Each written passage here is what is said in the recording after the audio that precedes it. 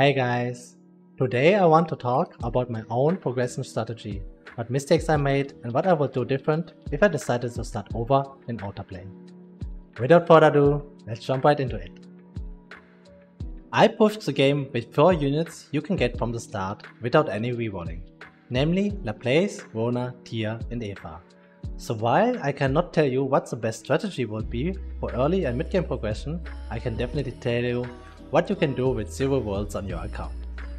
In any case, the biggest issue I think I will face is that I have not enough red and green units to do the gear dungeons I like on the highest level. You have to understand that the gear dungeons heavily penalize units that are not from an element with an advantage. So if I want to build up a team for unidentified Chimera for speed and counter gear, I have to consider multiple things. First of all, the Chimera reduces the critical damage from your units by 100%, means that a unit with low crit damage will actually deal less damage with crits than they would do with regular hits. When you watch the fight, you can actually see the numbers struggling on the crit. Second, the Chimera reduces earth and water damage dealt to it while also dealing more damage against those units, making it a struggle for the units to stay alive or justify picking them over fire units.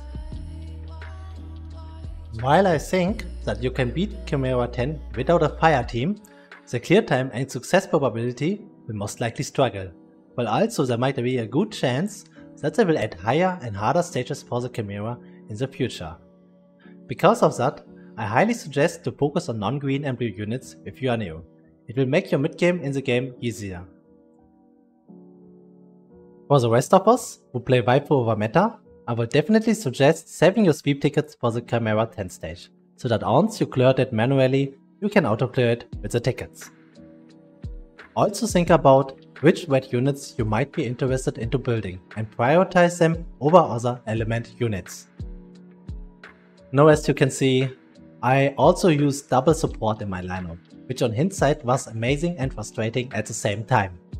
Double heal will easily carry you to the boss stages, in which you can also sustain the boss until you have multiple stacks of chain attacks, making it very potent against stronger bosses when they can't kill your units during your cooldowns.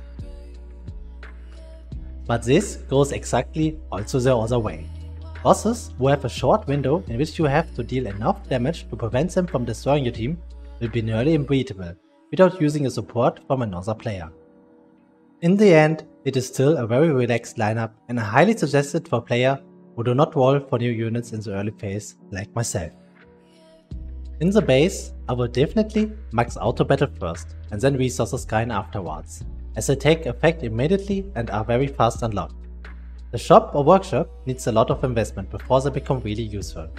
I think Expedition should be your third priority after you unlock the first named things. Also do your arena ones if you can. You fight mostly against the same bots, and even though they might have higher CP than you, their damage is manageable, and a unit who targets all enemies can usually deal easily with all of them. The skill books are really valuable, the gear is not amazing but nice for the start and relatively easy to get. Also the stamina refresh is actually great. With the stamina refreshers in mind, also get your friend list going, so that you can get the daily stamina refresh and arena from it. Skill books are incredibly valuable, as they cannot be farmed on regular stages. Only use them on units you can consider using for a longer time, and only if you really need it.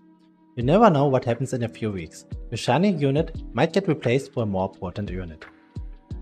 Also, lower weighted units need far less skill books to upgrade their skill. This is actually nice as some 1 star units can be progressed with low risk and thus giving you a bigger variety of units to use. Gear in the early stage is a pain, but it gets better after 3 days of active play.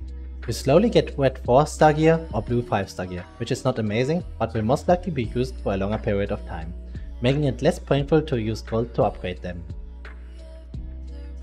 Speaking of upgrades, always use your regular low star gear to upgrade your gear first. They only take space and you really do not want to be short on hammers, when you find a really good piece. Of course, join a guild. The daily 2 missions you can, can do give a great amount of materials. Even if you do not need most of it yet, the gold gun is already nice in the early stages of any gacha game.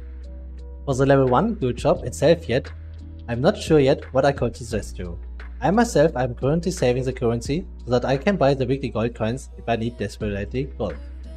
The clear ticket seems to be expensive to me, especially if you consider that it actually does not progress your account further, it just shortens your playtime a bit. Needless to say, I think the food XP item is never worth it to buy, because you will barely feel a change on higher levels. Many people actually farm the gear stages on a low level already. I think that is a mistake. Unless you can farm the last stage, always focus on upgrade stones rather than the gear grind via stamina.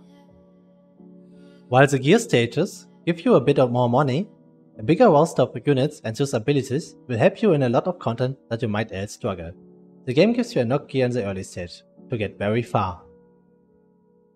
Lastly, the side story looks good and bad to me at the same time. You get precious hero pieces, which is really nice, but it is a big stamina sink, and you will need to pull copies of the characters anyway, as the side story will only drop a limited number of pieces. I suggest only doing the side quests for the Aether and then revisiting it when you could get enough pieces in the side story to push your character to a higher star level. I hope it goes without saying, as you should do free stuff like ruins anyway, if you can clear it. There are many options how you can attempt the current early phase of the game, and honestly, I highly suggest rerolling for Valencia and taking Nova from the selective, as those are two pieces already who will be highly viable in gear grinding during the mid game. Other than that, the game is absolutely doable without rerolling pulling new units, but you will clearly be stuck with a very limited pool of units to choose from. Sooner or later, all of us should be able to play the hard stages. It is just a matter of time. That's it for today for me. Feel free to leave a like or subscription, it would really help me out. In any case, if you like the game or want to join the Gacha Discord, I will leave the infamous Cozy Corner Discord link in the description.